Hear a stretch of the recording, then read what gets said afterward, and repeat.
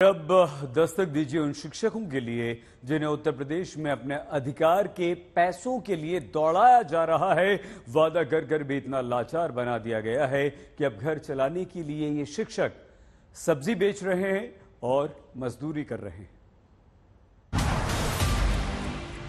नाम राशिद अंसारी, नौकरी उत्तर प्रदेश में हरदोई के सरकारी स्कूल में अनुदेशक की। मजबूरी, फल का ठेला लगाकर घर चलाना। लौकी तरोई और तरबूज लेकर मंडी में जिन्हें बेचते आप अभी देख रहे इनका नाम है मंजेश। नौकरी ये भी उत्तर प्रदेश के हरदोई में सरकारी स्कूल में अनुदेशक के तौर पर करते हैं। लेकिन मजबूरी ऐसी कि सब्ज़ी बेचकर ही अपना घर चला पाते हैं। तीसरी तस्वीर देखिए। नाम नवल किशोर। काम उत्तर प्रदेश के ललितपुर में सरकारी स्कूल में अनुदेशक। मजबूरी घर चला सके इसलिए ई रिक्शा चला रहे हैं। चौथी तस्वीर। नाम अर्जुन सिंह। काम उत्तर प्रदेश के मथुरा में सरकारी स्कूल में अनुदेशक लाचारी सरकार की वादा खिलाफी की वजह से चौकीदार बनना पड़ता है। और अब पांचवी तस्वीर। नाम संजय कुमार। काम उत्तर प्रदेश में बाराबंकी के सरकारी स्कूल में अनुदेशक मजबूरी। सरकारी विश्वासघात के बाद मजदूरी करके घर चलाने की। उत्तर प्रदेश के जिन लोगों को आप अपनी टीवी स्क्रीन पर अभी देख रहे हैं इन्हीं के भरोसे प्रदेश के शिक्षा मंत्री इस बात को गर्व से कहते हैं कि शिक्षक और छात्र का अनुपात सरकारी स्कूलों में बेहतर है। इन्हीं शिक्षकों के भरोसे उत्तर प्रदेश में शिक्षा विभाग के निदेशक से लेकर बाकी अधिकारी जाकर वाहवाही बटोराते हैं। इन्हीं शिक्षकों के दम पर यूपी में शिक्षा को नंबर वन बताने की होड़ मंत्री और अधिकारी करते हैं, लेकिन जिन्हें शिक्षक का काम देकर पैसा भी टीचर लायक देने में सरकार वादा खिलाफी करती हो सब्ज़ी बेचने ई रिक्शा चलाने, चौकीदारी कराने, मजदूरी कराने के लिए मजबूर करती हो तो ज़रूरी है कि दस्तक दी जाए।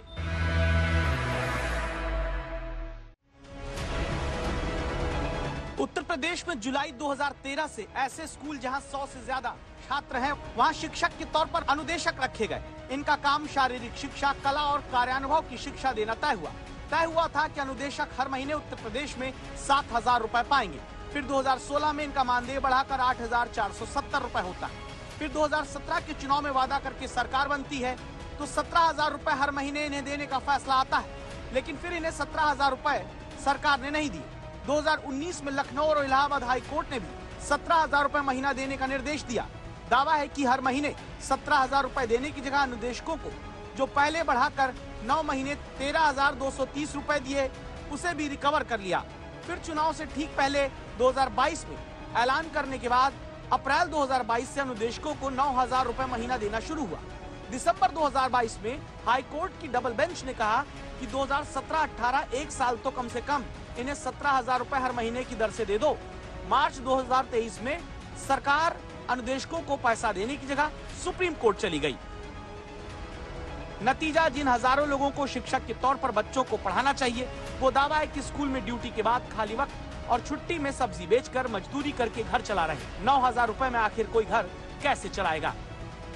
यही आलम यूपी के बाराबंकी ज़िले में भिलावल गाँव में रहने वाले अनुदेशक संजय कुमार का है, जिन्होंने शिक्षा तो ग्रहण की, बच्चों को शिक्षा तो दी, लेकिन आज मजबूर हैं, कम तनख्वाह के चलते हाथ में फवाड़ा लेकर एक घर में मजदूरी करने को। अरे सर, चल नहीं पा रहा है लेकिन किस तरह से जीवन यापन, किसी तरह चल रहे हैं, किसी तरह से काम चल रहा है। बहुत तकलीफ़ होती है सर, लेकिन अब क्या करें हम लोग? पढ़ाई तो की थी हम हमने B Com M Com B P Ed और M P Ed M A yoga हमने इतना मतलब डिग्री ले रखी है। लेकिन अब ये नौ हज़ार की नौकरी में, लेकिन अब सर किसी तरह से जीवन यापन नहीं हो पा रहा, सर। संवाददाता समर्थ को ऐसे एक नहीं, कई शिक्षक मिलते हैं। जैसे ये है महिला अनुदेशक रजनीश।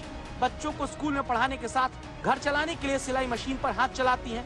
गाँव वालों को कपड़े सिल कर देती है। सवाल उठता है कि शिक्षकों को वादा करके पैसा देना ज़रूरी है या कोर्ट में दौड़ लगवाना? सत्रह हज़ार देने का आदेश दिया लेकिन सरकार उसको भी नहीं देना मुनासिब नहीं समझी और सरकार माननीय सुप्रीम कोर्ट में चली गई। हालाँकि सरकार की एस अभी वहाँ एक्सेप्ट नहीं हुई है। जब इन्हीं शिक्षकों के हक की दस्तक समर्थ ने शिक्षा विभाग पर दी तो कैमरे पर बिना आए क्या जवाब मिला? आप सुनिए। विभाग द्वारा ये बताया गया या यूँ कहें कि पल्ला झाड़ा गया और कहा गया कि क्योंकि मामला अभी सुप्रीम कोर्ट में विचाराधीन है इसलिए कोई भी एक्शन तब तक नहीं लिया जा, सक, जा सकता है और सुप्रीम कोर्ट जैसा भी आदेश करेगा बेसिक शिक्षा विभाग उसका अनुपालन करेगा। नई शिक्षा नीति देश में आ गई लेकिन तब क्या खेल कला कौशल सिखाने वाले अनुदेशकों को यूँ हक के पैसे के लिए लाचार करके नई शिक्षा नीति चलेगी? समर्थ श्रीवास्तव लखनऊ आज तक।